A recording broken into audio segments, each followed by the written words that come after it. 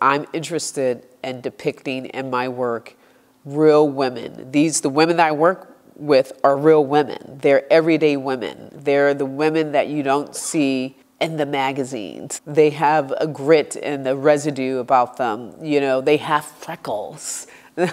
they have history. They have stories. They, you know, they're all different sizes. You know, they're all different heights. They're variant in color degrees of blackness. They have different textured hair. And to me, that's always been my world. And I, I want to see those women in my pictures because I want little girls to be able to see themselves in those images and to identify with all of those different degrees of beauty within black women.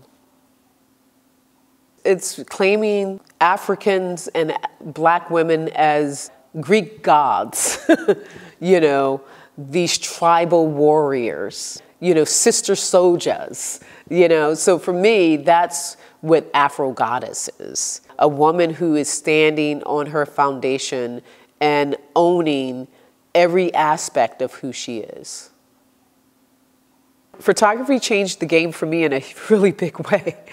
It really did. It allowed me to really think conceptually, pictorially, and also about represent representation. It really allowed me to start looking at my own self, the black bodies around me, my own black body, uh, my familial black bodies, and just really start thinking of how the power of these images could be provide, presided in a pictorial and photographic form. At that, up until that time, I have never considered it, but it, it really shifted my work because up until that moment, before taking a photo class, I was working primarily abstractly without using the figure or really without considering myself in art. Um, it allowed me to think on some personal levels, but also more theoretical le levels, and also look at my work socially and culturally. So I think photography, for me, also allows me to think compositionally, formally, and I, I actually use photography within my practice as a form of drawing. I think a lot of artists, they may, you know, sketch out their ideas. For me, photography works out in that way. Using it as a medium to just like formalize my work and conceptualize it is a big aspect of my practice. It's definitely a melting pot of identities in my work. I feel like the women that I choose to photograph, there's a thread and line that I feel is a sense of they possess something that I possess. I see a lot of myself in them. And so, therefore, I feel like a lot of my photographs are self portraits.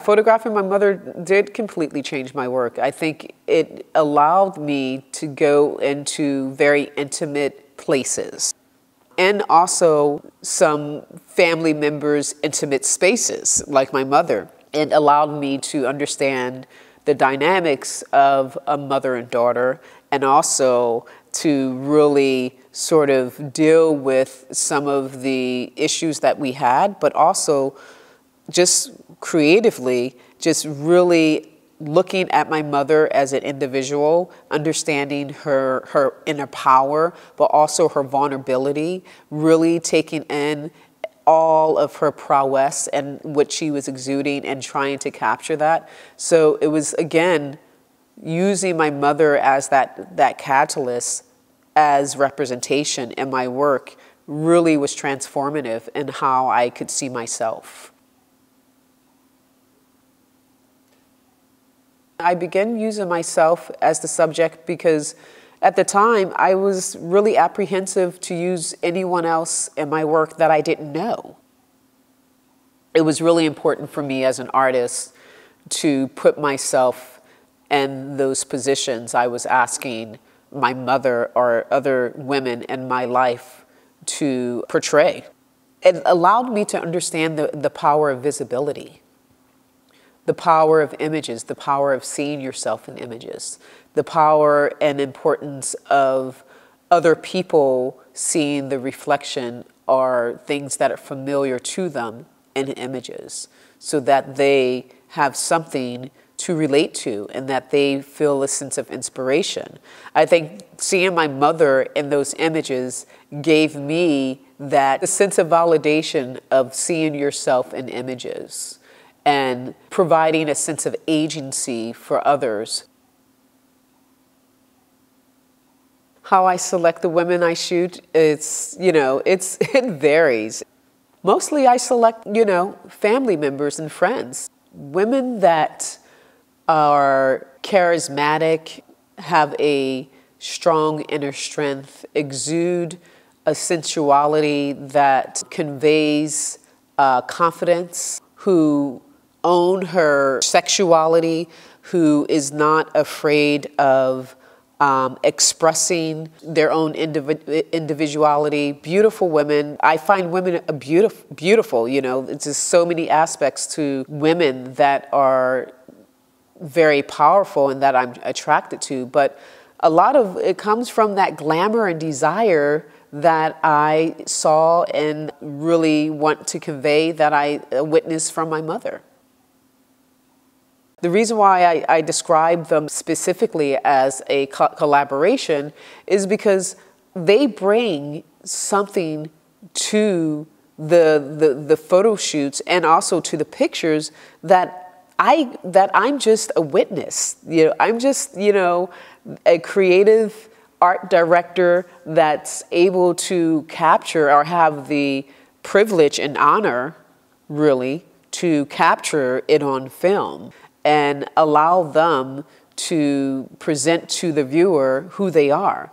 So for me, that is a really collaborative response. It's a call response, like a tete a tete between me and the sitter, and it's just really fantastic. And I think a lot of it has to do with the type of installations that I, I construct. It's the construction of these spaces that allow this sense of comfort, this sense of familiarity, this sense of ownership this sense of I am here and I'm claiming this space because what's in these constructed spaces are things that they can relate to, whether it's from their own personal experiences of domesticity through their own houses of family or or you know their their parents' house, their auntie's house, their grandmother's house, whatever, or someone else's house where they've been. It's like this journey that they understand the particular spaces that I provide for them to sit in. It was definitely a reveling in their in their sexual power. I think you know there's oftentimes young girls are told to deny that part of themselves that you're beautiful, but be sexy, but not too sexy, right? be, you know, be all of these things, but not too much. Just give us a little. And, and if it's, and if you do give 100%, then it's all of these negative labels uh, put on into, into a woman's sexuality. We as a human race would, should really own the fact that sexual power is revelation. And there's nothing wrong with exuding that or expressing that. I think sexiness could be the way a woman crosses her legs or just the way she gazes out at you. You know, there's, there's something to that innate power that is transformative.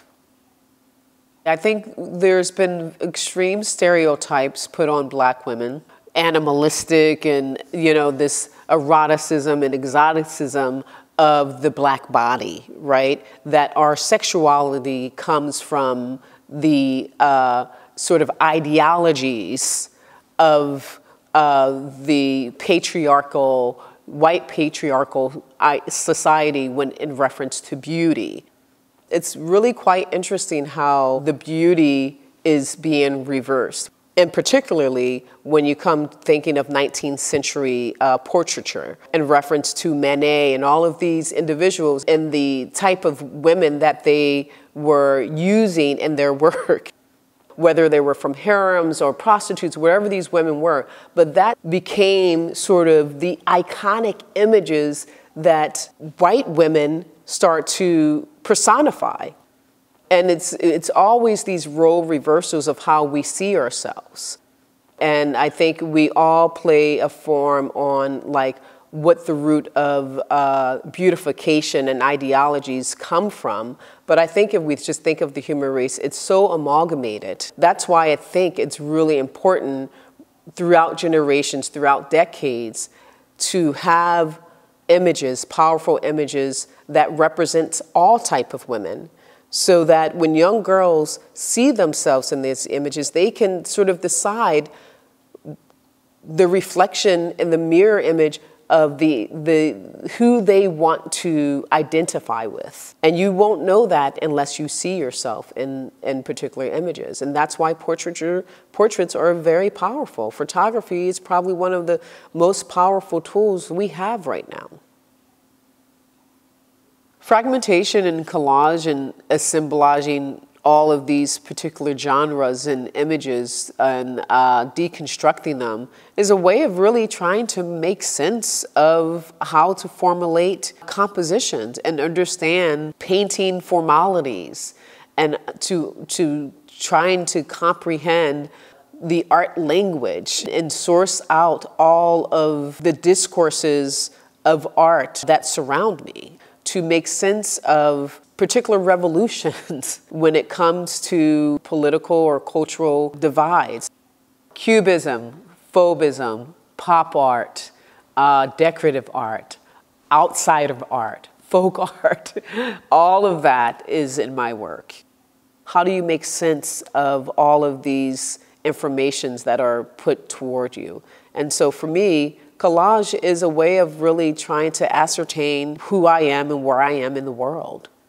Collage has always been a form of creativity within African Americans because it's, you know, who we are is a collage in itself. We're live, we've always lived in the world of double consciousness. I think it's more than two worlds. I think it's beyond the double consciousness. We're always, and I think just all of us within the di diaspora, you know, even what we're always working within several spaces of our world. And those particular identities play a part in my work and play a huge part in working within collage. There's always been this divide in interest to try to integrate painting and photography. I'm not necessarily interested in photographic elements in my work that are literal. I'm interested in photographic images in my work that has to deal with the painting language.